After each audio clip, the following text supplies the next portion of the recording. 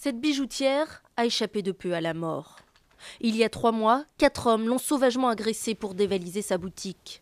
C'était le deuxième braquage en deux ans. Durant le précédent, son mari a été tué.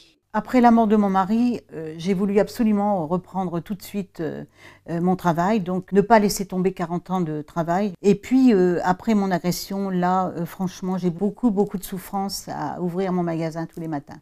Depuis, Monique a embauché un agent de sécurité, sûrement encore insuffisant, dit-elle. Je me dis qu'il n'y a pas de bonne sécurité. Comment pouvons-nous juger derrière la porte à, qui, à qui ouvrir?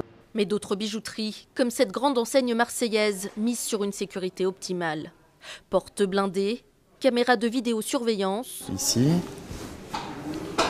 encore ici, chaque table de vente est protégée par une caméra. Mais aussi un marqueur indélébile diffusé sur les braqueurs. Dès l'instant où il y a quelque chose qui passe dans le sas, il est douché complètement par ce produit. Et même une alarme qui se déclenche sans bouton. Un système de détection de cris, de hurlements, etc., qui permettent aussi automatiquement d'activer des systèmes de protection. Des mesures extrêmes, mais qui se montrent très dissuasives. Cette bijouterie n'a jamais été braquée.